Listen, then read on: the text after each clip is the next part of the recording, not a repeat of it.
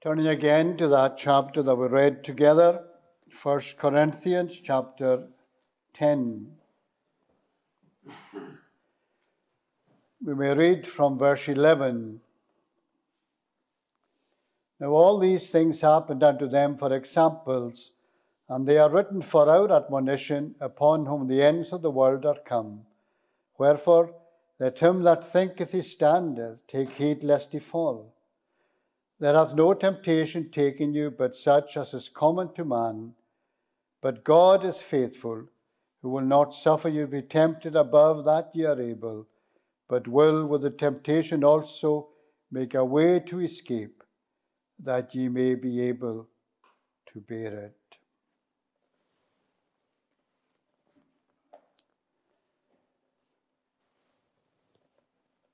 Our shorter catechism teaches us that some sins are more heinous in the sight of God than others. And that is, of course, true. But nevertheless, every sin has to be repented of. While we know that there are some sins that are more grievous but there is no sin that doesn't need the forgiveness of God. We sometimes speak about, well, a small sin. There's just a small sin. And again, I'm sure we all know what that means. But as long as we are not making excuses when we use that kind of language, because God hates every sin. And every one of us are sinners who commit sin against God.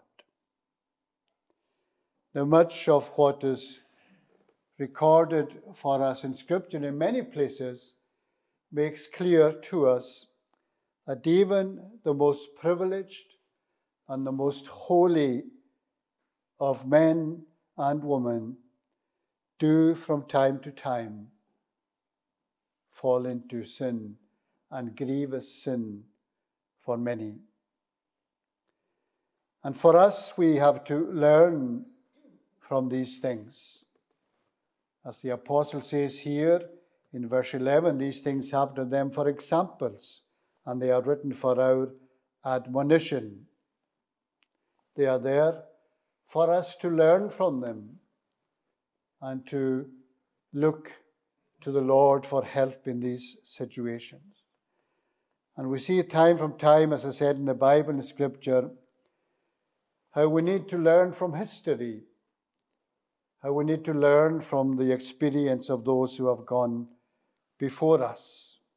How often we read of the children of Israel and their wanderings away from God. At times you think, how could they possibly do it? When you consider how much the Lord had blessed them, the miraculous ways in which He had delivered them. And yet we find them so often unthankful and wandering away from the Lord. But, friends, before we start, as it were, casting stones at others, should we not consider ourselves? And despite all the blessings you and I have known of God, how often it is that we are not as faithful and we wander away from Him. All scripture, according to 2 Timothy, all scripture is given to us for profitable for doctrine, teaching, for reproof, for correction, and for instruction. You see, it's not just lovely little stories that's in Scripture. And there are beautiful, if I can use the word stories, not a word I like to use too much with regard to Scripture. There are beautiful accounts that we have. But it's also there to warn us in many places, to teach us, to instruct us, and to correct us.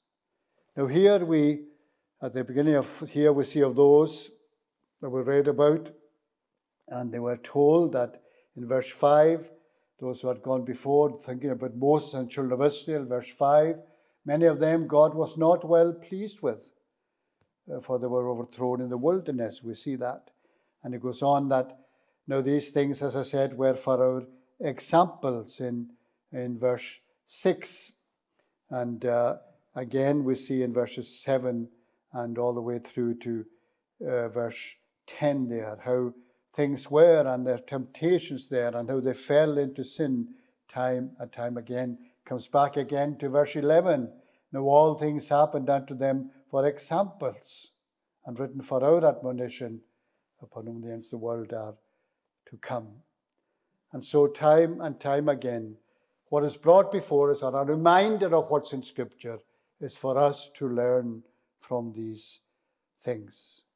And so, this says uh, to all of us here, in verse 12 particularly, and how we need to watch this, friends. Wherefore, let him that thinketh he standeth take heed lest he fall. And that, friends, for each and every one of us. Oh, to be careful that we are not thinking that we have no problems and nothing will happen to me and I will keep on being faithful and maybe finding fault with those who might have fallen away or not as faithful as they used to be. We all need him that thinketh he standeth, take heed lest he fall. There were those of the children of Israel here who had all the blessings, and yet, despite all that, God was not pleased with them. Why? Because they had not followed as they ought to have followed and believed as they ought to have. Sin had come in with them. Wherefore, my dearly beloved, verse 14, flee from idolatry. That was a great sin with them. They were going after other gods. Now, of course, we can say, well, we are Christians and in a Christian community, and so we don't have that kind of idolatry.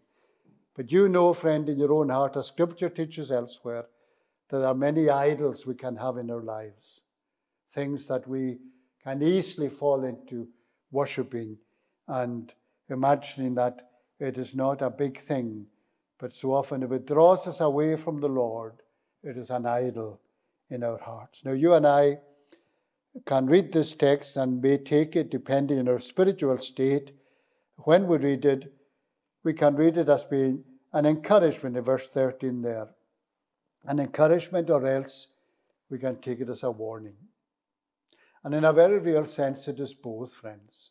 There is word of warning in it as there is a word of encouragement for us.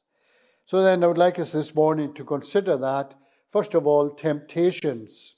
There hath no temptation taken you, but such as is common to man will not suffer you to be tempted above. God will not suffer you to be tempted what you are able to withstand. But temptation, friends, are common to us all. There is not a single person, however, whoever it is, however holy that person be, who doesn't know something of temptation in their lives.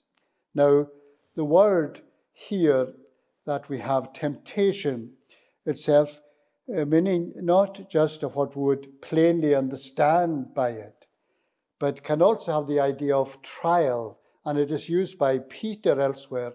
It is translated as trial by uh, those who have translated the Bible. So a temptation can be a trial, and a trial can be a temptation. But however, here it's enough to see the word for what it is. We take it in its context.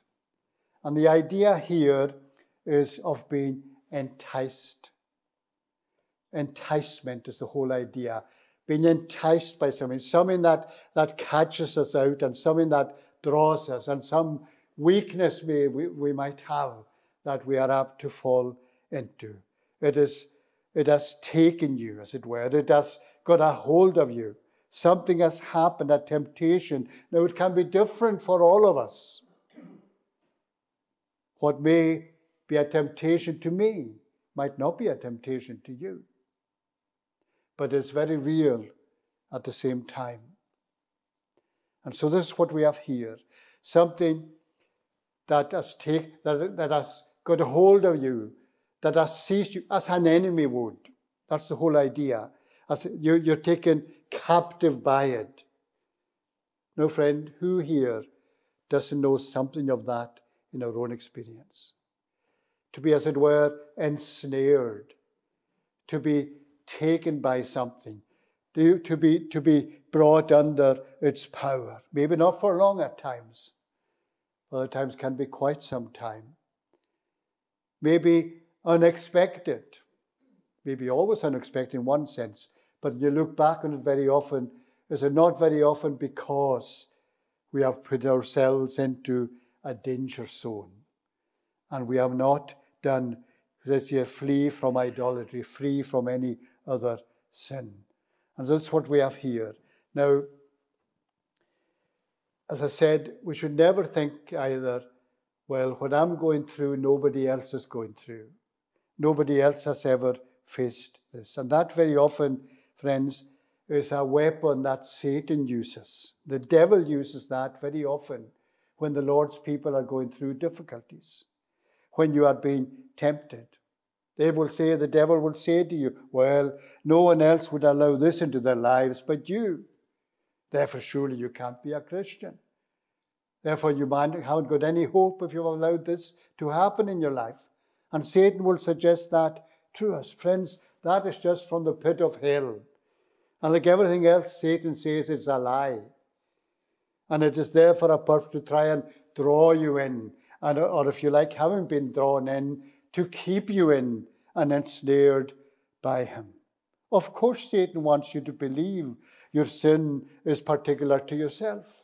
Of course, he wants you to believe, well, no one else could possibly, no one could be a Christian, no one can have a desire after God if that is in your life at the same time.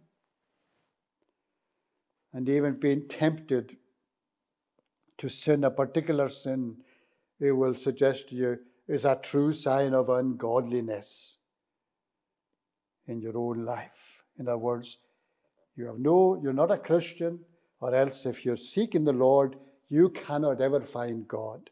You can never find forgiveness if you have these thoughts or if you have these temptations in your life. Now, friends, one thing we have to remember, and I'm sure I've said this often enough in this pulpit and elsewhere temptation itself is not sin. It can lead to sin, but the temptation itself, in and of itself, we know that, of course, the perfect example, the Lord Jesus Christ, was in the wilderness. He was tempted. And we can be tempted. He was in all points, we read in Hebrews, tempted as we are, and yet without sin. But you see, the temptation is, as it were, uh, the, the door that opens before you to entice you. And it is in that way trying to seduce you, to coax you to go through it into sin.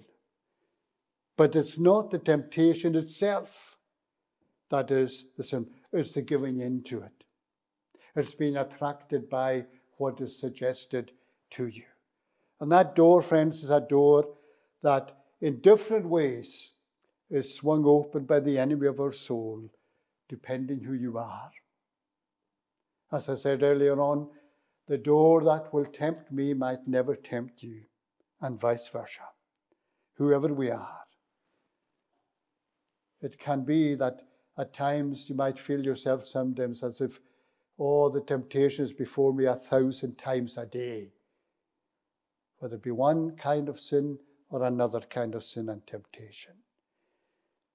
Indeed, in one sense, I would have to say, I believe that it is a common mark of the child of God that he is often faced with that struggle. I'm not saying that we should look for it.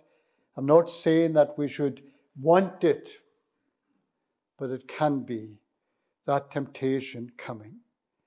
Oh, you sometimes, it's just me. It's just me. Nobody else is going through what I am going through. Nobody else is tested in that way or tempted in that way. But that's not true, friends. What does it say in verse 13 at the beginning? There, look at these words. There hath no temptation taken you, but such as is common to man. You see, that should encourage us. Not that we're glad everybody's been tempted the same way. Not that we're glad there's sin in everybody's life. That's not the point at all. The point is you shouldn't feel that you, you are alone in these situations. But when that door seems so inviting, friends, and it will be at some times more than at other times, beware. Beware, as it were, of reaching out your hand to open the door. Beware of even taking a slightest step out of the path. What path? The path of obedience, according to the Word of God. That's where there's safety. And when you step out of that narrow way, you're putting yourself in danger. How often, and maybe even in the most blessed times,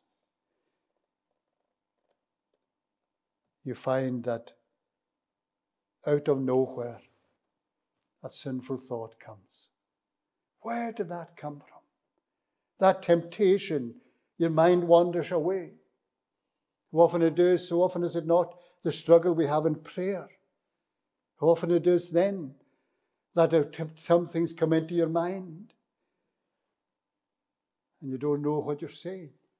You may have words and nothing else when you're maybe sitting in church sometimes, maybe reading scripture. The times like these, temptations come in different ways. It's not just, friends, about the physical, as it were.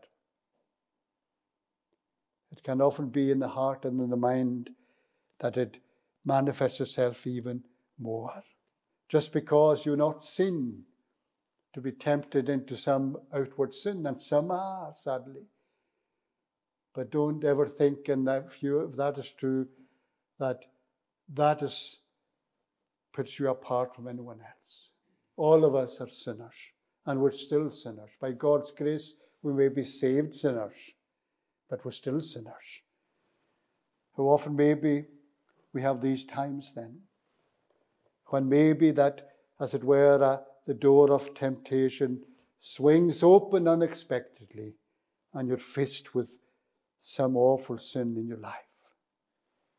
This is true often for the Lord's people. Indeed, in one sense, it is a mark of knowing something else that grieves you so much when these things happen. But they are temptations are common to all. And then, secondly, but as I said, Temptation itself is not the sin, it's giving in to it. And secondly, how far temptation can go in your own experience? Well, very far. Very far. We have said that temptation itself is not sin, but nevertheless, it can be painful and it can be very destructive even having to face the temptation can be a painful struggle at times, even if you don't fall into the sin, as it were. The evil one will try to wear you down. And he can do that often to open the door of temptation. You know that even through those who are closest to you in this world. How often, friends, even our near and dear ones, can be used by Satan to draw us away from the Lord, those we love most in this world. How far can that take? Temptation, friend, can bring you, as it were, to the very brink of hell itself. And utterly turning away from the Lord, even without falling, as it were, into hell, as it were it can take you, the temptation can take you away very, very far. When you consider the Lord Jesus, remember him on the pinnacle of the temple. And the picture we have there of him being tempted to cast himself down. And offer that kind of thing can come to the Christian. Take that door. Just go through it. That's what you need. There's the answer to your problem. This is where you will find comfort once again. Or else they might suggest to you, well, there's no harm in that.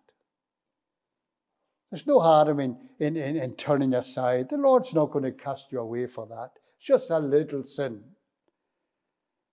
Friends, it doesn't make it any less. It's the greatest of danger. Who's going to know anyway? Know what that is like at times. That temptation as well. And it's all about drawing you further and further away from God, drawing you out of the path of obedience, and drawing you to think less of Christ and to think less of the sin that is in your heart. Oh, the pain and the agony and the struggle that many of the Lord's people go through faced with such things. Just once, just a little one. This is what will keep you happy for now. Do you know what that is like? I am quite sure you do.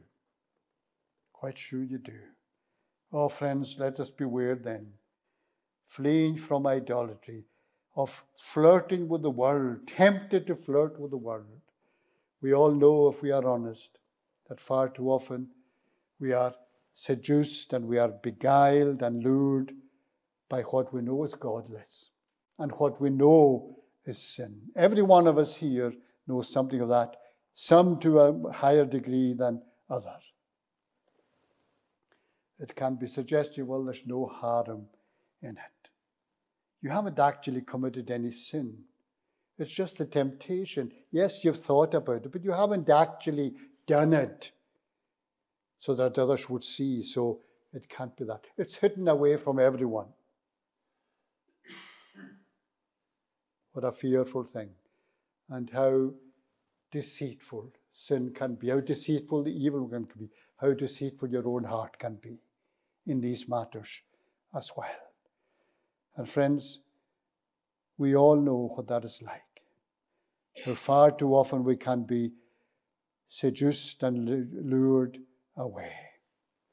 After all, temptation is not sin. So, what's wrong with if so what if I'm tempted by these things? As long as I don't give in. Well, temptation is not sin in and of itself. But temptation is a dangerous step and door to what can be the most awful of situations for you. But, and being willing to be tempted, as it were, and letting yourself be drawn to the very edge, though not, as it were, crossing the line, can become a foolish situation if not sin itself. Well, what are you to do? Well, you flee from idolatry. Beware, friends, of even allowing the thought into your mind in any of these situations. So, these are things that we have to be aware of. Temptation, no, in and of itself, it's not sin. But temptation can take you, if I can put it this way, right to the very door of what is very sinful and could be to the detriment of your never dying soul unless you watch and are careful about these things. But then, thirdly, there is no need, however, to despair. You see what we have here in our text, verse 13. God is faithful, who will not suffer you to be tempted above that ye are able, but will with the temptation also make a way of escape that you may be able to bear it. What does this say? Basically, yes, there'll be temptations, but you are not alone. God has uh, given you a way out of it So nobody can say, I could do nothing about it. Nobody can say, well, I couldn't help myself. Well, God can help you because you're not alone if you are the Lord's here today. What is it speaking about? Speaking about grace in time of need. You see, blessed way of escape is what we have here. God Himself in Christ provides this for us. You see, friend, again, a response to the temptation. The Lord Jesus is the way to escape. Flee from idolatries. What does that say in verse 14? Flee from idolatry. What does that mean? Surely, if you're fleeing from idolatry, what are you doing? You are fleeing to Christ. You are fleeing to Christ. It is one or it is the other. This is what we have said before us. And no one need fall into sin, however much you are tempted, or however strong the temptation. Because if we do, it's not because there's no way of escape. There is a way of escape. And that is what we have in the Lord Himself. He has made a way of escape that you may be able to bear it. With the temptation comes a way of escape. And the way of escape is the one who was himself tempted.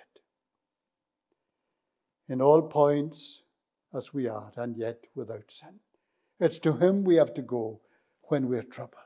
Not to our own strength. Well, I can deal with this myself. I'll go to this man and this woman and they'll help me to get over this. No, friend. You, they may well do, but your first port of call must be the Lord Himself. And that way we don't need to despair in these things. Now, don't you know yourself something of the faithfulness and the long suffering of God? You see, what you'll find when you're faced with temptation is what we have here a way of escape. And what do you do when you're faced with temptation? You look for that way of escape.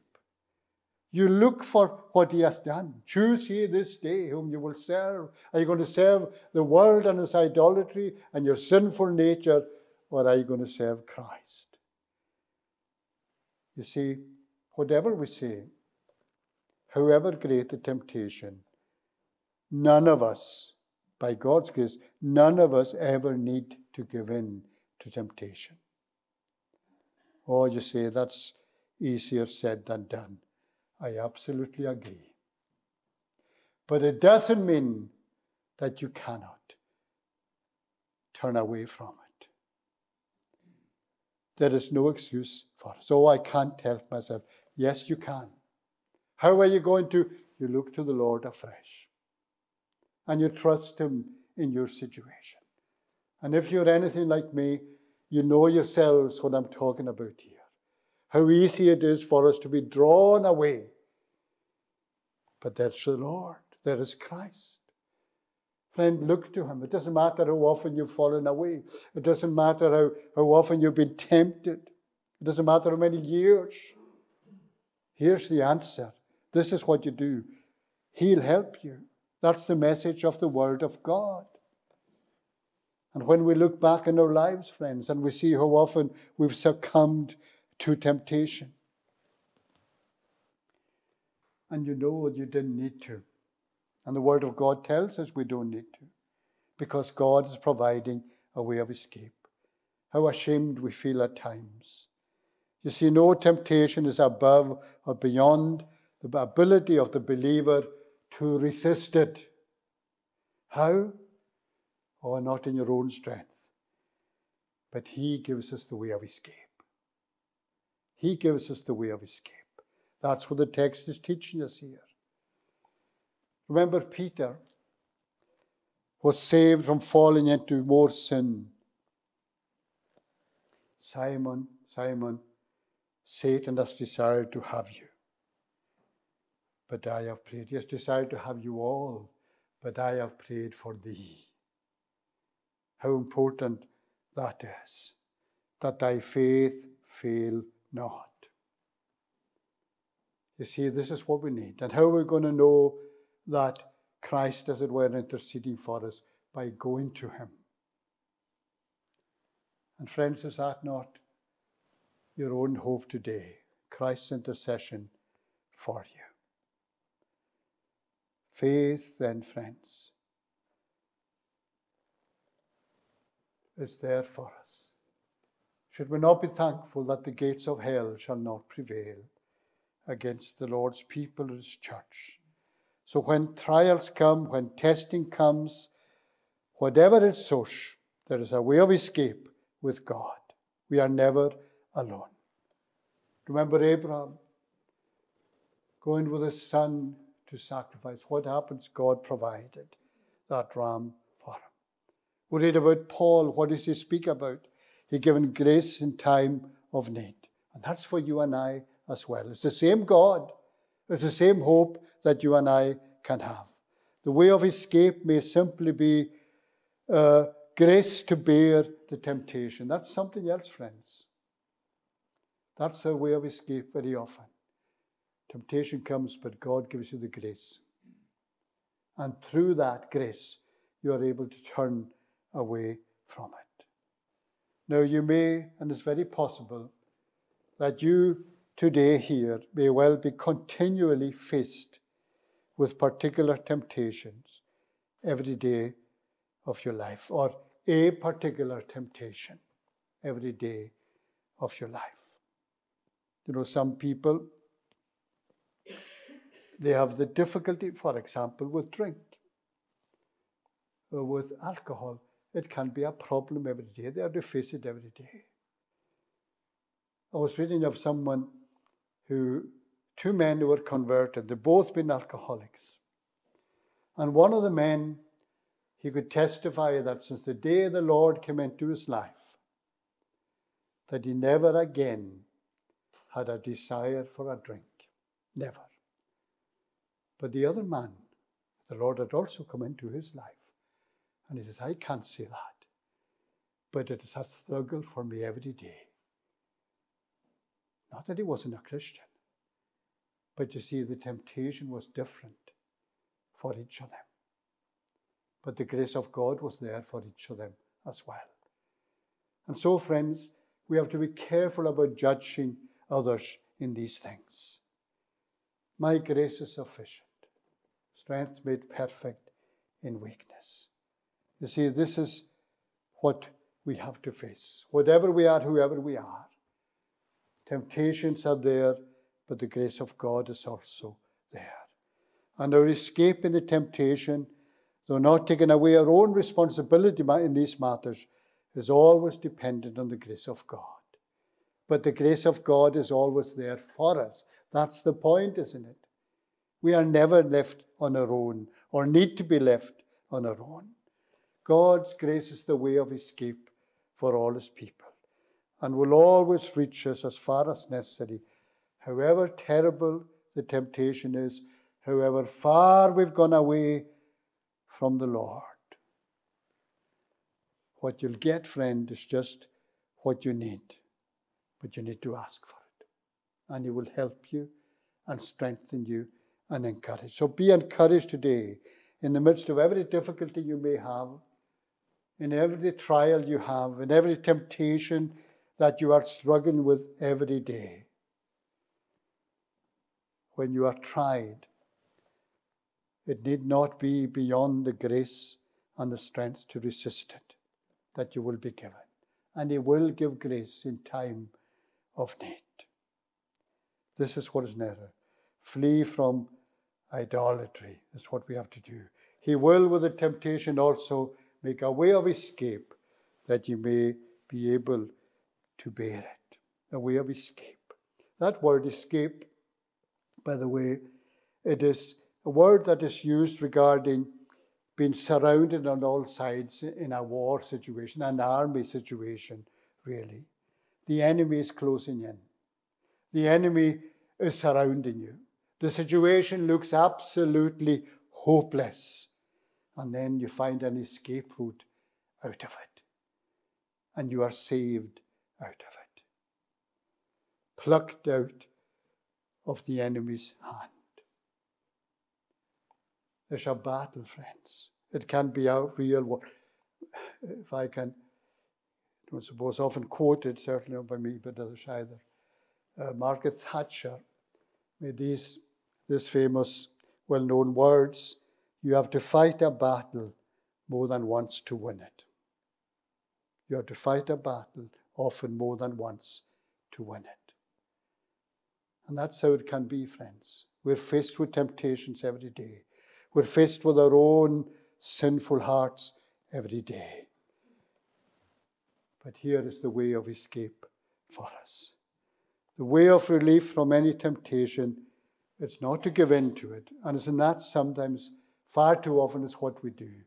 Far easier to give in to it. And what do we find? Oh, the pain then, and the struggle to get back to where we once were. But you can, friend. And God will help you in that situation. What we need to do is to resist it in God's strength, to look to the Lord. He is faithful and just and able to forgive us our sins. And this is the hope that we have from His own holy word here as well. So, however long you're a Christian friend, let him that thinketh he standeth, verse 12, take heed lest he fall. Take heed. Oh, but I've been a Christian for many years. Take heed. Oh, temptations like that, some people have, whether it's drugs or drink or pornography, or horrible, anything. Oh, that doesn't bother me at all. Maybe it doesn't. Maybe it doesn't. And some here probably never think about these things. But are you telling me there's not other things in your life? Are there not other situations that you know and you're thankful as well and you're not that those around you don't know anything about it? Things that are sinful in themselves, tempted to certain areas in your life. Let him that thinketh he stand take heed lest he fall. Beware, friends, of your need However long you're on the road, however short you're on the road, you need to be kept. And these temptations will come your way. But the Lord is able to help. You're not alone in your suffering through these temptations. There has no temptation taken you, but such as common man. But God is faithful, who will not suffer you to be tempted more than you are able to stand. You're not on your own. Here's a way of escape for you. Don't let the enemy of your soul discourage you. Don't let Satan suggest to you, well, you cannot be a Christian. You cannot even be someone who has a desire for the things of God, of these things in your life. That is from the pit of hell. God is able to help in every time of need. Don't doubt it. Trust in Him. And when these temptations come, as they will, you see, they're not something that just appears once. And you might be able to resist one and, as it were, put it to one side. But I tell you, there won't be, it won't be far long until there's another one come before you that you have to struggle with. But in every one, God is able to help and willing to help in time of need. Friends, let us trust in the Lord and you today and go forward in His strength. Whatever our past or our future or even our present today, He is able to help in every time of need. Amen. Let's conclude. O Lord our God, we thank Thee and praise Thee that thou art so merciful and long suffering toward us. Bless thy people. Remember any here who are particularly troubled at this time, uh, maybe with temptations that some of us couldn't understand or know anything about, but very real to them.